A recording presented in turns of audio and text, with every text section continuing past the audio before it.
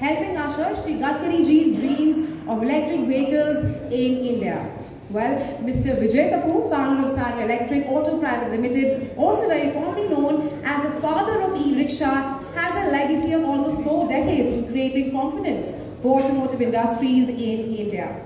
Meanwhile, Mr. Rahul Maggo is the visionary founder and driving force behind e With passion for automobile and cutting-edge technology, he aspires to revolutionize the transportation industry and pave the way towards a greener future. Can we have a round of applause to them?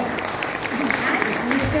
Pankaj Agarwal, Vice Chairman, GL Bajaj Institute of Technology, is a young and visionary leader. He has been awarded with four top rankers, excellence awards, and he has also been honored for excellent leadership of leading institutes in India.